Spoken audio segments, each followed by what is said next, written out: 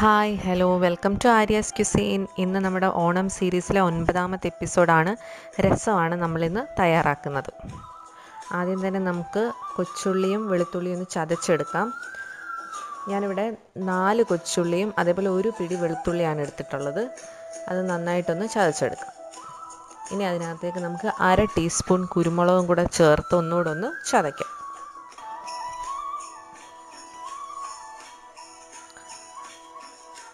ഇനി നമുക്കൊരു മൺചട്ടിയാണ് ഞാൻ ഉപയോഗിച്ചിരിക്കുന്നത്. ഒരു പാത്രം അടുപ്പത്ത് വെക്കാം. അതിനകത്തേക്ക് ഒന്നര മുതൽ രണ്ട് ടേബിൾ സ്പൂൺ വരെ വെളിച്ചെണ്ണ ഒഴിച്ചു കൊടുക്കാം. എണ്ണ നന്നായി ചൂടാകുമ്പോൾ നമുക്ക് കടുകിട്ട് പൊട്ടിച്ചെടുക്കാം. ഞാൻ അര ടീസ്പൂൺ കടുകാണ് ചേർത്തത്. ഇനി അതിനകത്തേക്ക് വറ്റൽമുളക് മൂന്നെണ്ണം അതേപോലെ തന്നെ കൊച്ചുള്ളി നാലെണ്ണം വട്ടത്തിലരിഞ്ഞത് അതും കൂടെ ചേർക്കാം. പിന്നെ നമുക്ക് ഒരു തണ്ട് കറിവേപ്പില. നമ്മൾ കടുവ് ഇറക്കത്തില്ലേ അത് തന്നെ ആദ്യമേ നമ്മൾ ചെയ്ത് മാറ്റി വെക്കുന്നു എന്നേ ഉള്ളൂ.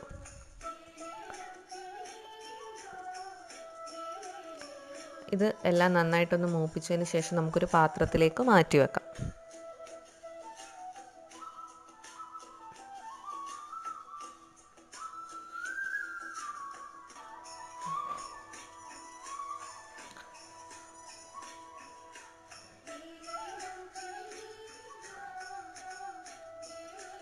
ഇനി നമുക്ക് ആ പാത്രത്തിലേക്ക് ഞാൻ എണ്ണയൊന്നും പിന്നെ ചേർത്തില്ല കേട്ടോ.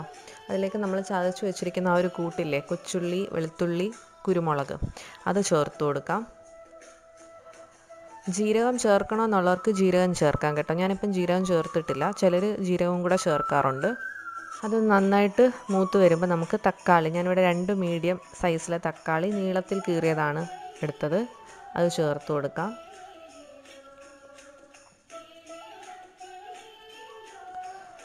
തക്കാളി നന്നായിട്ടൊന്ന് വെന്ത് വരണം. ഇനി നമുക്ക് അതിലേക്ക് പച്ചമുളക്. ഞാനിപ്പോൾ നല്ല എരിവുള്ള ഒരു പച്ചമുളക് എടുത്തിട്ടുള്ളൂ. പിന്നെ ഞാൻ കുറച്ച് മുളക് പൊടിയും കൂടെ ചേർക്കുന്നുണ്ട്. അപ്പോൾ നിങ്ങൾക്ക് പച്ചമുളകിന്റെ എണ്ണം വേണമെങ്കിൽ കൂട്ടാം. പിന്നെ പുളി എടുത്തിരിക്കുന്നത് ഒരു നെല്ലിക്ക വലുപ്പത്തിനുള്ള പുളിയാണ്. അത് വെള്ളത്തിലിട്ട് വെച്ചിട്ടുണ്ട് കുതിരാൻ വേണ്ടി. പിന്നെ ഇതിനകത്തേക്ക് ഒരു നുള്ള് മഞ്ഞൾപ്പൊടി അര ടീസ്പൂൺ മല്ലിപ്പൊടി അര ടീസ്പൂൺ മുളക് പൊടി. ഇത്രയാണ് നമ്മൾ പൊടികളായിട്ട് ചേർക്കുന്നത്. ഇനി ആ പൊടിയുടെയൊക്കെ പച്ചമണം ഒന്ന് മാറിക്കിട്ടണം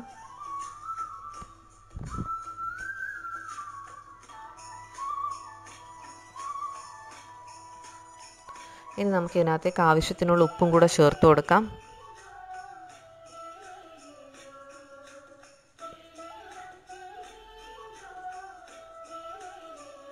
ഉപ്പ് ആദ്യമേ ഒരുപാടങ്ങ് ചേർക്കരുത് കേട്ടോ. ഉപ്പ് കൂടിപ്പോകരുത്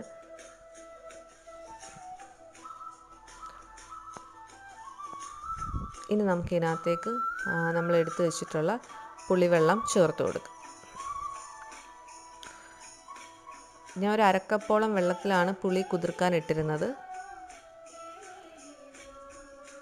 ഞാനിപ്പോൾ കുറച്ച് ക്വാണ്ടിറ്റിയാണ് ഉണ്ടാക്കുന്നത് കേട്ടോ. അപ്പം ഫുള്ളായിട്ടൊരു ഒന്നര കപ്പ് അത്രയൊക്കെ വെള്ളം വരുത്തുള്ളൂ. ഒന്നര കപ്പ് മാക്സിമം രണ്ട് കപ്പിനകത്തുള്ള രസമാണ് ഉണ്ടാക്കുന്നത്.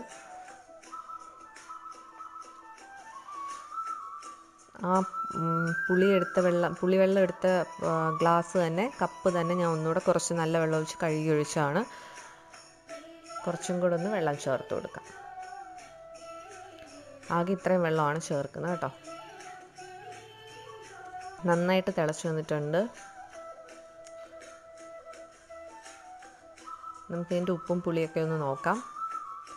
രസത്തിന് ഉപ്പും പുളിയൊക്കെ കറക്റ്റായിട്ട് വന്നാലേ ആ ഒരു ടേസ്റ്റ് കിട്ടത്തുള്ളൂ എരിവും. ഇനി നമുക്ക് മല്ലിയിലയും കൂടെ ചേർത്ത് കൊടുക്കാം. മല്ലിയില നിങ്ങളുടെ കയ്യിലുണ്ടെങ്കിൽ ചേർക്കുക. നല്ലൊരു ടേസ്റ്റാണ് കുറച്ച് മല്ലിയില അരിഞ്ഞതാണ്. അതും കൂടെ നമുക്ക് ചേർത്ത് കൊടുത്ത് ഒന്നുകൂടെ ഒന്ന് ചൂടാക്കിയെടുക്കാം ഇനി നമുക്കിനകത്തേക്ക് കായപ്പൊടി ചേർത്ത് കൊടുക്കാം. കായപ്പൊടി ഞാനിപ്പോൾ ഒരു അര ടീസ്പൂൺ അര മുതൽ മുക്കാൽ ടീസ്പൂൺ വരെ നമുക്ക് ആദ്യം അര ടീസ്പൂൺ നിങ്ങൾ ചേർത്ത് കൊടുത്ത് നോക്കുക. ഞാൻ അങ്ങനെയാണ് ചെയ്തത് അപ്പോൾ അതിന്റെ ഫ്ലേവറും ടേസ്റ്റും ഒക്കെ വന്നിട്ടുണ്ടോ എന്ന് നോക്കുക. ഇല്ലെങ്കിൽ ഒരല്പം കൂടെ ചേർത്ത് കൊടുക്കുക. നിങ്ങൾക്ക് കട്ടക്കായം കിട്ടത്തില്ല അത് വേണമെങ്കിലും ചേർക്കാം. പിന്നെ നമുക്കിതിനകത്തേക്ക് നമ്മൾ എടുത്തു വെച്ചിരിക്കുന്ന കടുവ് വറുത്ത് വെച്ചിട്ടുണ്ടായിരുന്നല്ലോ അത് ലാസ്റ്റ് ചേർത്ത് കൊടുത്ത് ഫ്ലെയിം ഓഫ് ചെയ്യാം. അപ്പോൾ നമ്മുടെ രസം ഇവിടെ റെഡി ആയിട്ടുണ്ട്. ഇഷ്ടപ്പെട്ടുവെങ്കിൽ ലൈക്ക് ചെയ്യുക ഷെയർ ചെയ്യുക അതേപോലെ സബ്സ്ക്രൈബ് ചെയ്തില്ലെങ്കിൽ തീർച്ചയായും സബ്സ്ക്രൈബ് ചെയ്യുക. So do support me and thank you for watching Aryas cuisine